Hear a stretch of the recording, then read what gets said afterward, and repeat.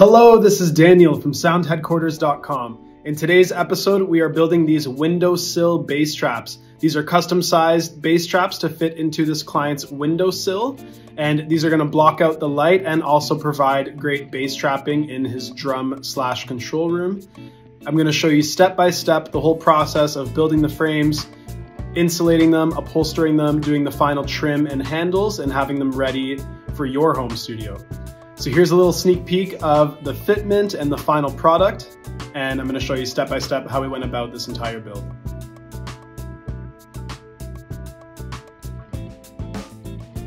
And there it is.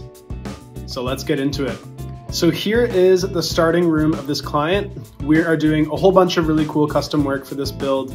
Uh, stay tuned for all of the other videos that are going to be posted about this job. So you can see he has these really deep window sills and he has two problems that he's trying to eliminate. He wants to have bass trapping in this room and he also wants to eliminate some of the noise that comes through from his neighbors uh, through those windows. So first thing we're gonna do is we're gonna measure out how big these frames need to be.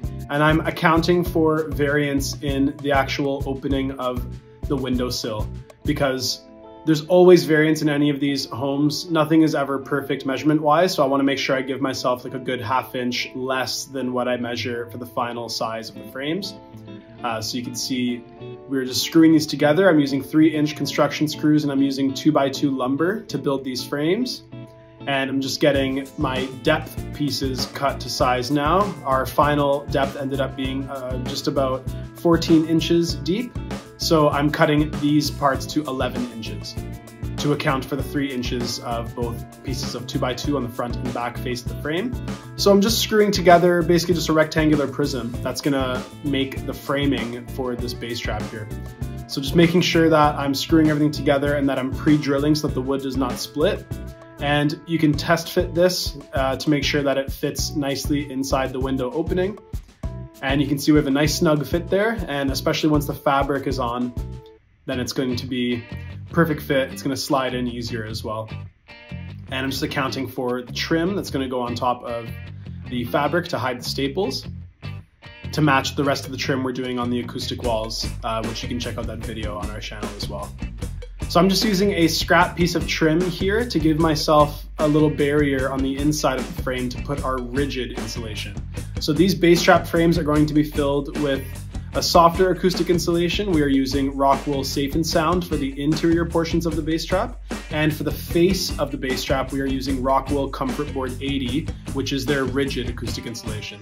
Now, based on where you're at in the world, your acoustic insulation choices will be different. Here in Ontario, Canada, Rockwool is the commonly available product at all of our hardware stores here. So we use uh, Rockwool products for, uh, for our builds. I'm just going ahead and getting the first layer of upholstery on. This is for the back side of the panel, and I'm just using a just a standard black uh, polyester here and we're using the same orange we used for the acoustic walls on the sides of these frames. I'm just stapling, stapling them on there and cutting it to size once it's stapled. And then the front face of these bass traps is going to be green. Um, this was the color scheme that the client chose, black, orange, and green. And here is the insulation that we're going to be using. So before we insulate that front face, we're gonna get all of the insulation inside these traps. So the first insulation that's gonna go in is our softer insulation. This is the Rockwool Safe and Sound. Comes in 24 inch by 48 inch, three inches thick. We're doing three layers and just cutting it to size to fit in. And now for the front face, we're using the Rockwool Comfort Board 80. And you can see I'm getting that cut to size and you can see how it rests on those little pieces uh, that we nailed into the frame there. So that way if you push on the bass trap, that insulation isn't going to pop inside the frame. It's gonna stay exactly on the front face right behind the fabric. So we're just going ahead and getting that green fabric cut to size and stapled on.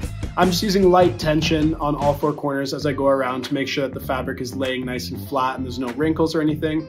You certainly don't need to pull on this super hard or anything. You just wanna make sure that the fabric is laying nice and flat and that you have enough staples to secure it to the frame. Now I'm going ahead and trimming the front face of the bass trap so that it matches the trim on the acoustic walls. You can check out that video on our channel, how we did that whole acoustic wall setup step by step.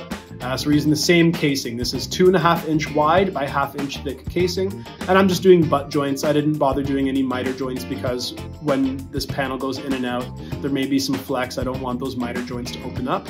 And we used butt joints on the acoustic wall as well. So I just wanted to make sure that it matched um, going around the room there.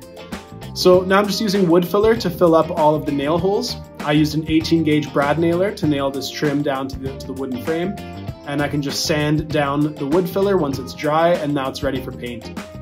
I'm using a foam roller because it leaves a nice texture and I'm using this trim and door paint that has an enamel in it just to make it more durable and it's gonna match the paint that's on this client's baseboards and door that's already existing. So I'm just using the roller to roll it on, being very careful that I do not drip any paint onto the fabric face. You may want to cover your fabric in plastic or in tape uh, before you do this step. And we ended up doing three coats of paint onto this trim to give us a nice solid look. And then here is the hardware handles that are going on to the frame to make it easy for the client to slide these bass traps in and out of his windowsill. So his plan is to leave them in while he is mixing and recording and take them out if he is if he wants to maybe set up a little area to mic a guitar cabinet or um, to better isolate his drums or bass drum or whatever his recording needs are for that day. We wanted to make sure that these are easily removable and so that he has access to the natural light into the windows as well in his basement studio.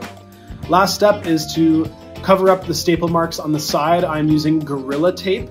This tape is extremely strong, it sticks to the fabric very well, and this just provides, just it's just a nice detail touch to cover up any exposed staples and make sure that the fabric lays nice and flat on those side edges.